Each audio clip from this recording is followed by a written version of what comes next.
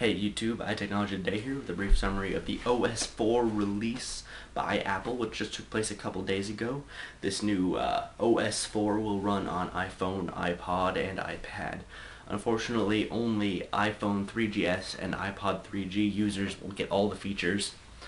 Um, there are, uh, the new operating system boasts over a hundred new user interface features, and Steve Jobs covered in his recent conference what he calls the seven tentpole features. And basically, what they were starting out is multitasking. You can now multitask on all three devices. Uh, the user interface is pretty straightforward. You double tap the home button and it'll bring up a list of running programs which you can switch to from there. Another one is folders. You can now have folders on all your devices and you just drag an icon on top of another icon to start a folder.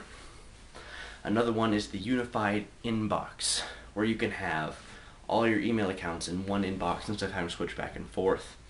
Also, iBook Store is now on iPod and iPhone. You can read ebooks. He also finally got the customizable background for your applications, so they're not all the same. Uh, Game Center, which is similar to Xbox Live or the OpenFeint or Plus network that we've been using. It's uh, gives you awards for different achievements in games, allows you to play with friends or random users online at the current time.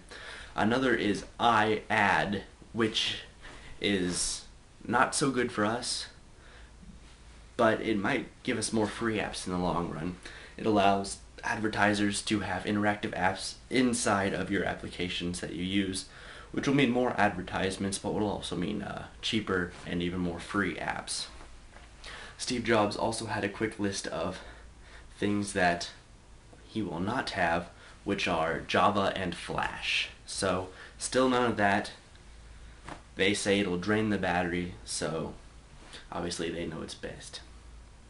Anyway, this new uh, operating system will be released sometime in summer. I would guess early June, around probably the new iPhone release. Um, besides that, he didn't really go into depth about it.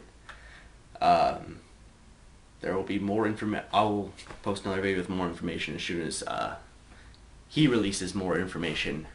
So, thank you.